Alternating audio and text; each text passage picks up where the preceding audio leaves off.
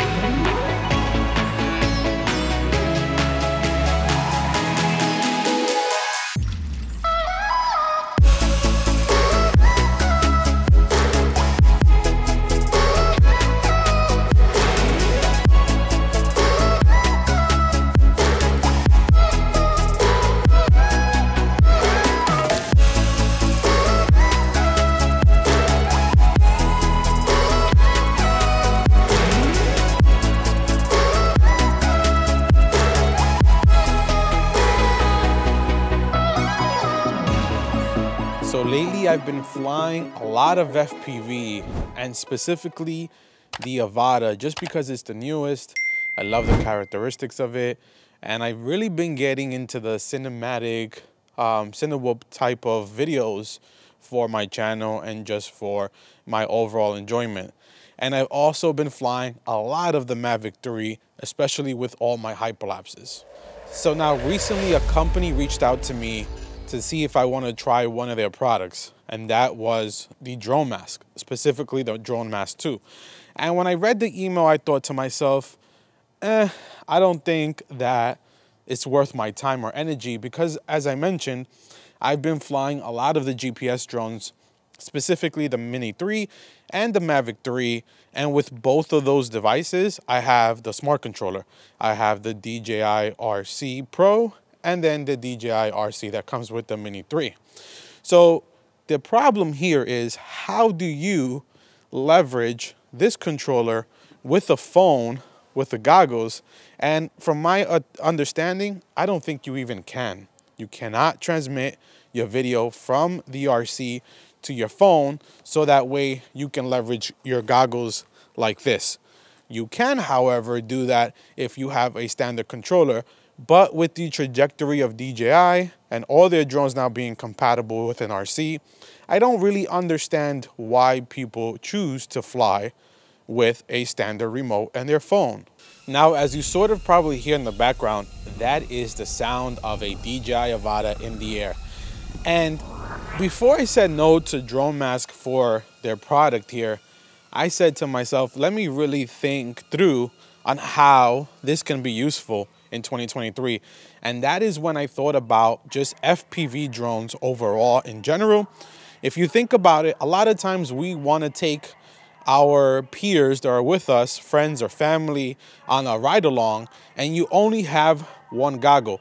Well, here's the good news. With the DJI system, the FPV system, whether it's the Avata, the DJI FPV, even the air units, Vistas, O2, O3, the great thing about these goggles is that you can connect them via lightning cable or USB-C cable to an iPhone, to an Android, and output that footage, output that video to your phone. So what's the drone mask good for in 2023?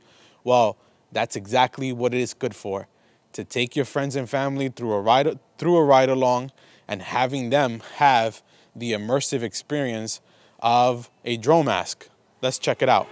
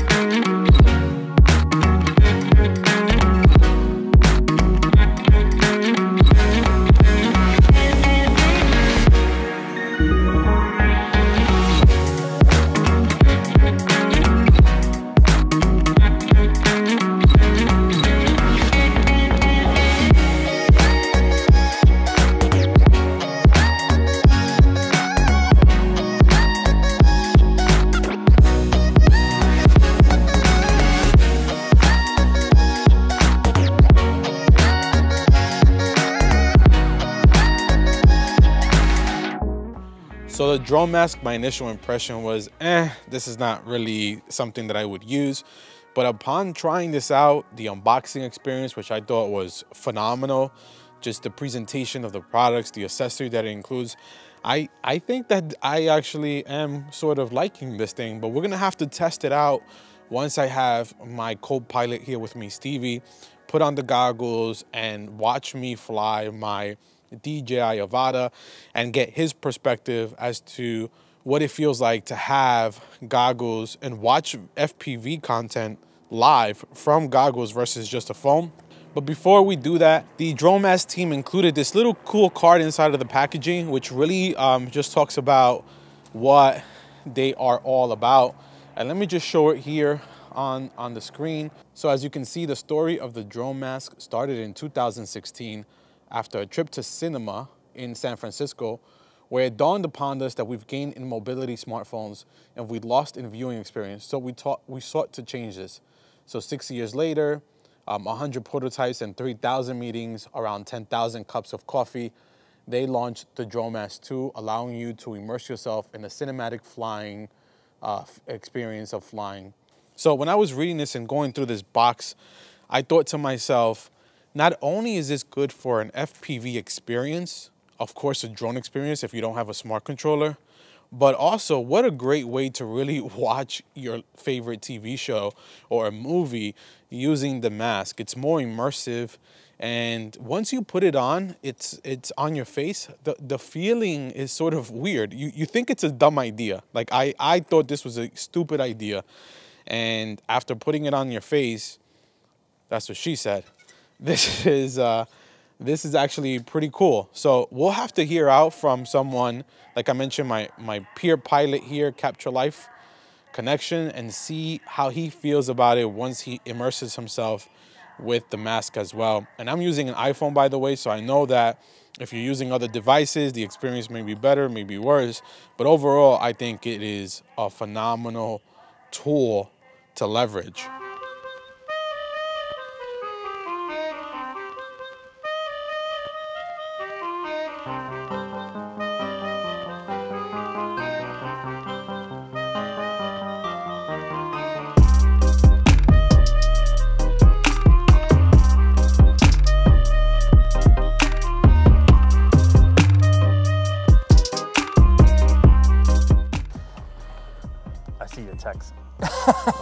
Who text me? Uh, James. Uh, oh, it's like, I don't know if it's a text or whatever. Oh. All right, so that's another good feature of the drone mask. You can see the text message. Huh. Ooh, wow. Yeah, so you see that? Yeah. That's what that's what's the feeling of flying FPV. But you're an FPV pilot, so you yeah. you are used it's. It's weird not controlling for me, you know, like. Oh, so you're doing like ninja moves? Yeah, I'm like. Like I want to move it. this is cool though. I like it. Now, honest opinion though, is it better than holding the phone like on your hand and watching it? Oh yeah. Like if you were my co-pilot and you had to do the same but watching through my hands. And if I was just holding a phone in my hand, yeah. This is way more immersive. Really? Yeah. Oh yeah, 100%. And I feel like the you have an iPhone too, right? Yeah. But I feel like that that uh, magnifying plastic thing that it has in the front makes the picture look more high def. That's what I thought. It looks sick. I can even see the grain when you're inside. Yeah, you see that? I see the detail. No, this is way better than holding a phone in my hand. It's cool, you, I think. When you got low to the floor when you first took off, yeah. like I just, I just felt like, you know, like I had to move, like I wanted to go up. Yeah, your FPV. I was very, yeah, I was in. very involved. Oh, this is cool. Now, I guess the only thing that's annoying is you see the notifications on the phone. Yeah. But that you can turn it off. That's you a, put in that's airplane a, mode or something. Yeah, that's a user error. Like me not putting my phone in airplane mode. Or or just shut down the no notifications for the, yeah. the apps that are most busy. Yeah. Now you can see all my telemetry data. You can see how fast I'm going, right? Or it's just a video? No, it's just a video. Oh, okay. I don't see any telemetry. Oh, that's because I have the, the goggles too. The V2s is the ones that do all the telemetry. This is cool. I can, I can really see the kids getting a kick out of this. Like I think, yeah, for families to leverage it using um, like Netflix or YouTube, right, while they're in the car. Yeah, another thing is, what's the price point on this?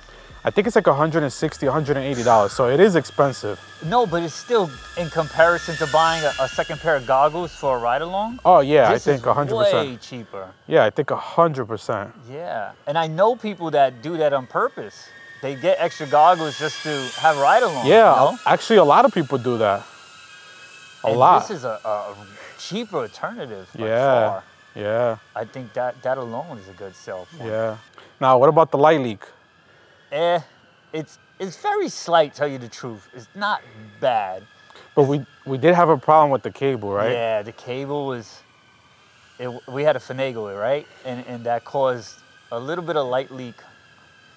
Um, so it's not the perfect solution, right? Yeah. But I think uh, with some modifications, they probably come out with a nice V2. mm-hmm. um, they need to take into account that with FPV drones, you have to tether Right. It's not. yeah, they they not they need to have that understanding. But you know what though? To their perhaps to their benefit, we're in a time where you you buy a product and how often do you read the manual, the instructions? Next to never. Exactly. And that's why YouTube is so great. So I did just unbox this today and we put the phone in there. Did zero reading besides the card that shows more about them and like what they're about and how they started the organization. So I'd be curious to see once we land if we look at the box, the instruction and see if, if it shows you a better way to mount that cable because that cable is very annoying. And I'm using an iPhone Pro Max, so the larger one. It looks great. So I also found it kind of tight too, right? So maybe if the mask could be a little bit larger. I think about like those people with the explosive phones, what they call them, the Samsung Notes, like what Anthony Troll uses. with his with his, with his fit there, probably. All right, so I think I'm gonna come in for a landing. I just Stevie wanted you to get this flying experience. You do fly FPV now, Yes. and I when I first tried this on, looking at it through my through the lens myself through the phone, I thought, wow, this would be cool for someone who doesn't fly FPV. Yeah. I think there will be more. Uh, Wild. yeah, More be excited. moving with it Yeah. because I'm used to these motions. Yeah. But it, you know, in the beginning, I felt like I wanted to control it. Like it was weird not not controlling it. It's like my first ride along. Now, how does it feel like when I'm landing? You might feel like I'm gonna crash into the wall here. Yeah, yeah. Uh, uh, uh. You see that? yeah. oh. Using those bumpers. yeah. Putting the Avata to the test. Yeah. The Avata's great, man. So, That Stevie. cool. Yeah. Pretty cool, right? Yeah, definitely. I think it's a good investment for those that want to give people a ride along. It's, it's Yeah. just a lot cheaper than the goggles. I think that's the, a good sale for FPV drone pilots. Yeah, I agree. And it's not. It doesn't look cheap either. I, No. I thought it, it did well. It's cool. They did they did a good job. Yeah. cool. They did a good job for sure. Well, thank you for trying it out and giving me your your first feedback Yeah, at man. Thanks for the opportunity, man. I problem. appreciate it. So let's talk about the drone mask, right? And my overall impressions of this thing and final conclusions. So at first I thought that the drone mask was a complete gimmick and a waste of time. But after trying it out, I do want to give it its fair chance and I can recommend it. I don't know at the price point, but if you have the money and if you are really all about giving your co-pilot or, you know, if you're flying a um, GPS drone without a smart controller, then it might be worth it. But I think the first feature that I really want to call out is that this gives you a seamless and immersive experience when you're flying with your goggles on. So I never owned the first version of these goggles. However, um, the biggest complaint that folks had when trying the first uh, version is that it was completely covered on its side. So there wasn't a way for you to change or access your phone. There wasn't a, for you, a, a way for you to go through features, maybe swipe something else, swipe something left, tap on your menu. You didn't have that functionality because you didn't have these things here. So now with the uh, Drone Mask 2, they did include these holes here, which are covered with a piece of fabric And although the idea is good, I think there's still some opportunity.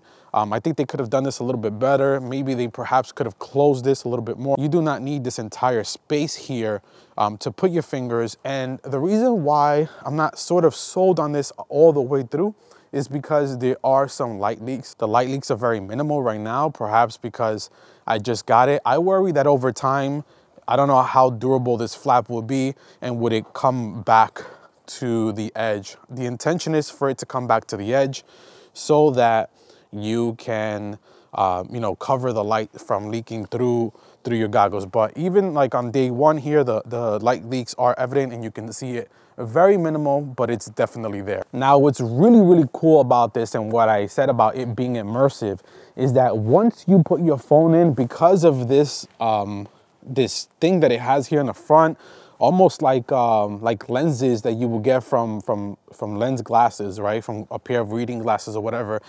It provides like it almost gave my iPhone a higher definition, if you will. So almost a clearer image. Once you put it on, this thing, whatever this is right here, that's what makes these goggles super immersive and I was really blown away. I first thought that this was essentially a cardboard in the box you're putting it in your face and it's just holding your phone.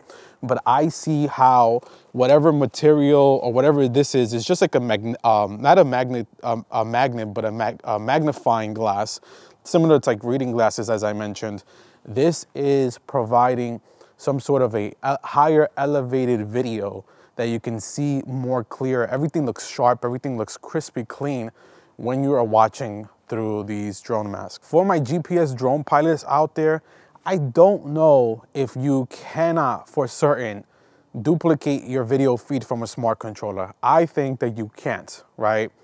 Um, but I, I don't, don't quote me on this for certain. However, if you can, or if you have a regular controller, where I see this being the best use case scenario is with the sun in extreme heat. Now, I don't know if your phone is going to overheat in this. I hope not. We are in February now, so like today is 40 degrees, it's quite cold. But on my iPhone, the biggest pet peeve I have is that once you are in heat or the phone starts to heat up and you are in direct sunlight, it makes it almost impossible for you to see um, your screen, right? And if you're flying a drone, a GPS camera drone, that's very annoying. You can't see anything. Now, I know that if you have a regular controller, I'm thinking back when I had my Mavic Pro 2 with a regular controller and I used to use an iPad or my iPhone. They sell these devices that you put over your, your phone, which is essentially it's a, a sun hood.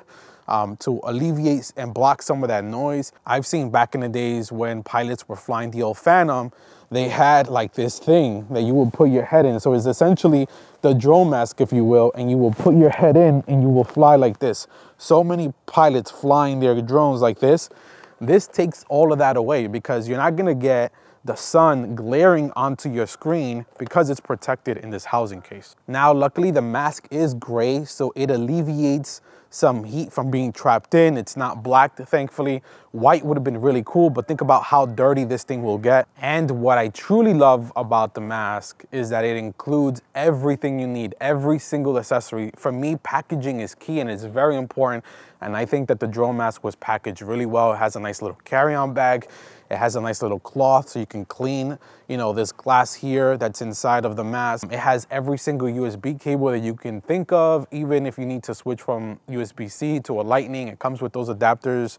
So I thought that, you know, it's a pretty cool thing to have and definitely, definitely worth it if you're flying FPV. You don't want to buy a second pair of goggles, which is going to cost you $600. And you do want to give your friend, your co-pilot that ultimate experience by, you know, having their phone on here, but more importantly, having them wear the goggles on their head and letting them get the perspective and that immersive feeling that you are getting as the drone pilot flying with it, uh, flying with the FPV goggles on your head, and they're having the, essentially the same, but with just your phone. All right, so that concludes the video about the drone mask and I'm wearing it and walking. I don't know why I'm doing that, but I think this is pretty cool. I am going to be really interested to let my family try this out, specifically thinking about my kids as they watch perhaps a movie or TV show, maybe behind the car, Maybe they'll get motion sick, who knows. But this is gonna be cool for them to also leverage it just watching their favorite show on their phone as we're commuting, traveling, um, and they're not, you know, in the convenience of their home with their TV. So that's it guys. Let me know what questions you have.